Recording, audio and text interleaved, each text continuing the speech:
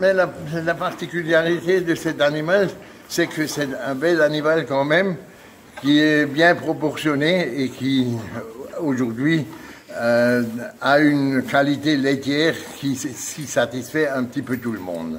Un animal bien adapté aussi à la montagne. hein. Elle est très bien adaptée à la montagne. Euh, Bon, il faut que ces bêtes, ils savent faire la transhumance. Elles sont nées avec nous. Les, gens, les, je- les jeunes, les plus jeunes, elles prennent les habitudes des vieilles. Et c'est naturellement avec les vieilles qu'on a le moins de problèmes parce que elles y sont adaptées. Et elles connaissent très bien, elles connaissent les saisons, elles connaissent les, les- le, le climat, les- le, le temps, la météo, et puis elles s'y adaptent, elles y sont adaptées tout naturellement. Et puis je pense que c'est pas une mauvaise chose. C'est une fierté pour vous d'avoir sauvé la Vosgienne? Ben oui, ben je- plus ou moins, je suis assez. Quand même, je suis fier d'avoir pu faire ce travail, mais ce travail, on ne le fait pas soi-même. Il faut un euh, tout seul. Il faut, il faut quand même un noyau d'éleveurs qui vous suit, et il faut savoir les convaincre.